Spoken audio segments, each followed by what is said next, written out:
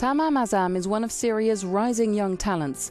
Forced to abandon his canvas when he fled Damascus at the outbreak of the war, the artist opted for digital art, combining images of Western masterpieces with scenes of devastation from Syria. It was this work, Freedom Graffiti, that made his a household name on the global art scene, a representation of Gustav Klimt's The Kiss over the bullet-ridden walls of a building in Damascus. It talks about the line between like tragedy and comedy and how you can like make art in this case.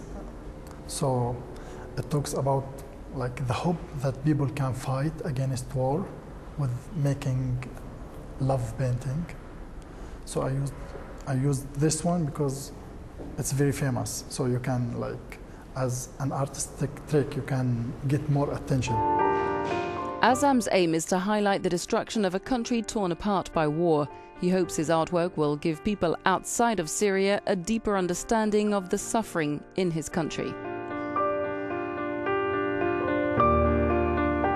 I think now, like, art uh, doesn't make sense for, uh, for, for people there because death uh, like still every moment in Syria. But as an artist, I'm not a soldier. This is how I can fight.